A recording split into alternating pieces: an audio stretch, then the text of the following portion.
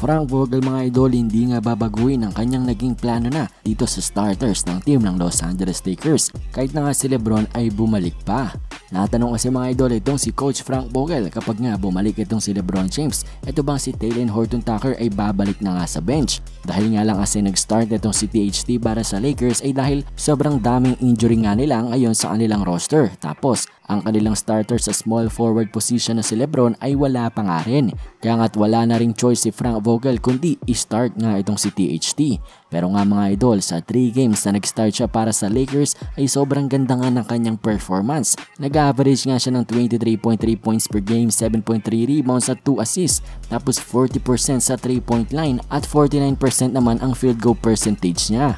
Yang ang sinabi nga ni Coach Frank Vogel ay napatunayan nga daw ni Taylor Horton Tucker ang kanyang sarili na deserving siya sa starting spot. At sigurado daw na magiging malaking parte itong si THT sa rotation ng Lakers. Pero hindi rin naman inaalis ni Coach Frank Vogel ang posibilidad na kailangan ng bench scoring at pwede nga doon si THT once na bumalik na mga Lakers player at wala na nga silang injury.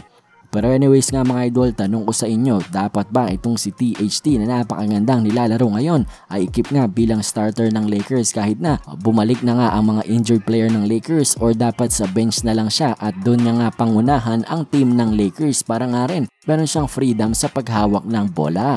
Komento nyo lang mga idol ang inyong mga opinion.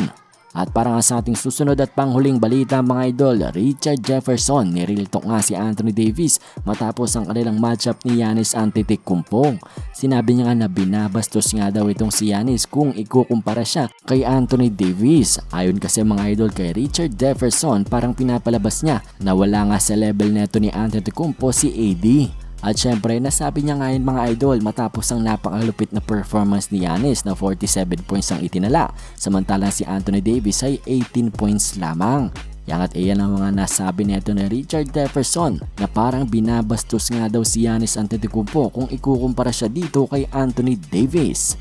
So ano bang masasabi nyo doon mga idol? Komento nyo lang inyong mga salawbin at mga opinion tungkol sa pahayag nga ni Richard Jefferson.